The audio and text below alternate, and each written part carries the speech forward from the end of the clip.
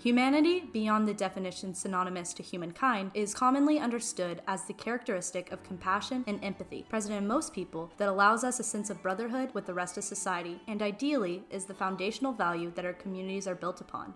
This humanity functions as a sort of compass that guides us to make morally sound decisions and reassess our opinions and actions when faced with injustice. While this empathy does not guide everyone in the same way, it is still what sparks change when society as a whole is too slow to unanimously recognize its own faults. Our humanity is a function of our mortality an understanding that suffering is a universal concept, and an ethical desire to improve the lives of others alongside our own. As time passes, people come and go, bringing new ideas and passing them on to those who come after. We live lives that inspire us with their brevity, and many of us would like to make positive change in the world before we leave it. So in a society like that of the gems in Houseki no Kuni, where people cannot similarly conceive suffering or death, do empathy, humanity, and society as we understand them exist?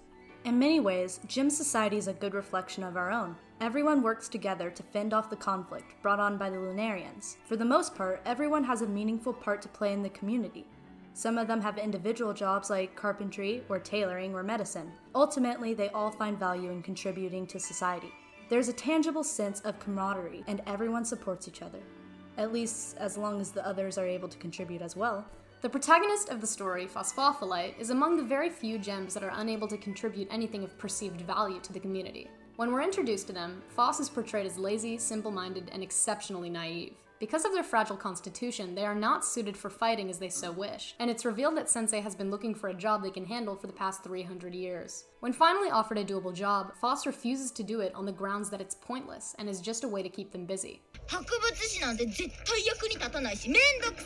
Phos sees right through Sensei, even though we don't really get this at first. It seems that Phos is just being stubborn or ungrateful. It's not until we're introduced to Cinnabar, the other gem unable to contribute to society, that we really understand what Sensei was doing. Cinnabar, despite being an incredibly talented fighter, is unable to do much of anything without irreversibly poisoning the world around them. We learn that they too have been given a pointless job. While the encyclopedia is still more substantial than a pointless night watch, we're able to pick up on the reoccurring theme here. The illusion of productivity is better than idling about for eternity. It's subtle, but this is the first demonstration of empathy that we're offered, and it's no coincidence that it occurs with Phos. Back when Phos was just learning to talk, the others asked Sensei if Phos would fight alongside them, to which Sensei said, Compare this to what Sensei said about Cinnabar.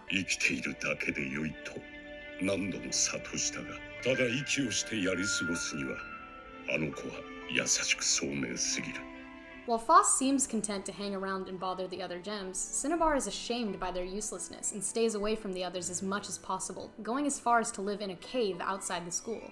Phos and Cinnabar are different in many ways, but both are ultimately unable to contribute anything of perceived value to the community, and are each, in their own way, hurt by this. Their confrontation is the first time Phos is forced to seriously consider the feeling of someone else. They impulsively promise to help Cinnabar.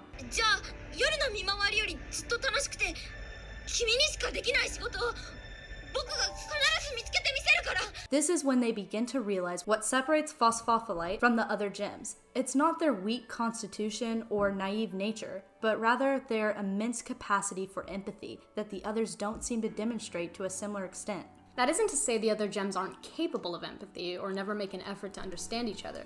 Diamond and Euclase in particular come to mind when we think of other gems that have exhibited a deeper inclination for relating to the others. But these instances of compassion always serve to highlight the absence of it in the others. When Dia thinks Phos has been turned into a slug, they're the only one that believes Phos should be turned back. The other gems point out that Phos didn't do anything to begin with, so the community as a whole isn't losing anything valuable now that they're incapacitated.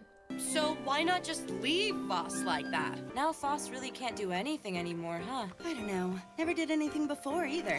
Yeah, I was just thinking the same thing. I don't feel as though Phos has really changed much at all. Later in the manga, when Phos is trying to convince the other gems to get Sensei to pray, Euclase, while acknowledging they could be lying, is also the only gem that believes they should hear the other side of the argument out anyways. Despite this, the others ignore Euclase and decide to write Phos off as a liar automatically, refusing to hear them out at all.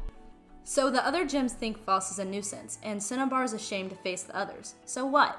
Well, both of these things ultimately come back to a fundamental lack of empathy demonstrated within the community. In gem society, a person's worth is directly influenced by their contribution to society. Phos does not contribute, so the idea of them disappearing or shattering indefinitely doesn't bother the others all that much. Cinnabar does not contribute, so they are unable to face the others, and the others make no effort to seek them out. あいつの毒は呼吸と同じだしみんなに迷惑かけないようにしてるのも分かってる It's not something you might notice right away while watching or reading Houseki no Kuni, because aside from the whole slug example, the lack of empathy is subtle. It's clear that the gems care about each other, as we can see them grieving on multiple occasions when gems are lost or when talking about old friends who have been lost. But once again, other than Phos, none of the gems are ever shown experiencing any sort of deeper visceral pain when faced with this kind of loss. I'm not going to consider Rutile's whole thing that happens later in the manga as a viable example because there's a lot of other stuff that I feel like goes into said thing that removes it as an example of empathy, but that's a whole other topic for a whole other video. The gems will go to great lengths to protect each other from the Lunarians. They do care for each other. It's just that beyond consideration for the physical well-being of the others, they can be really callous to each other without meaning to be, and it just appears to be part of their culture. So, why does nobody in this world seem capable of empathy?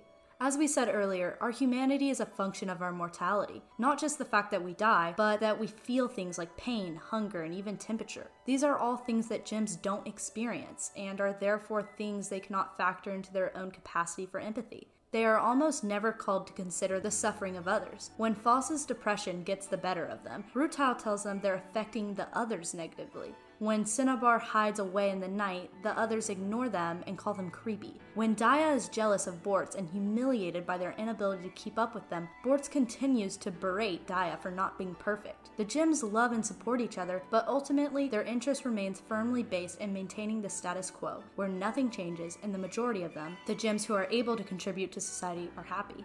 This struggle to properly grasp humanity as we know it is a fundamental aspect of the conflict faced by the gems. Humankind is ever changing, always compelled to improve because of our limited lifespans and our desire to alleviate the suffering of others. The gems of Houseki no Kuni are immortal, unchanging.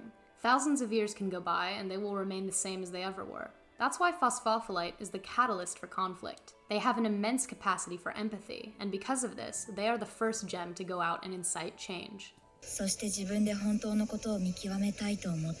Every time Phos's body undergoes change, the loss of limbs is attached to an act of compassion. First, it was their effort to help Ventricosus that lost them their legs. Next, it was a desire to become more useful to the others, which lost them their arms and incited Antarcticite's sacrifice. When they lost their head, Cairngorm begged Sensei to use Lapis Lazuli's head as a replacement, or else use Cairngorm's own. When Phos's hair is cut and falls into the sea, they encounter Very Goddess, who reignites their desire to bring their fallen friends back. When Phos's eye is replaced, it is because they're preparing to act on their plan to save everyone. Houseki no Kuni correlates empathy with change. It might not be an explicit statement, and maybe Ichikawa never even thought too deeply about it, but the correlation remains nonetheless.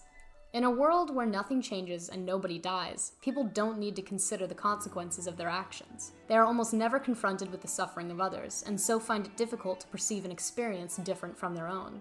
Without mortality, it's hard to imagine that empathy would exist to the same extent that we know it, and without empathy, we would become complacent, and change would become obsolete. That's enough for our existential rock ramblings for one day. If you like this video and want to see more like it, please let us know in the comments below. Likewise, if you didn't like this video or disagree with what we said, we would love to hear your feedback so we can improve in the future. Once again, we would like to stress that our goal is to incite conversation, and anything you guys have to say is valuable to us. As always, thanks, Thanks for, for sticking till the the end, end, and don't forget to smash that subscribe Quietly so the pool boys don't hear us scream. At least as long as the others are able to contribute as well. Got him. Take that Phos and Cinnabar! Dumbass bitches. This is when they begin to realize what separates phosphophyllite. what separates phosphophyllite. Say it for me. First, it was their effort to help. Ooh, what is that? Ventricosus. When they lost their head. Who is that? Karen, hang on, I'm sorry.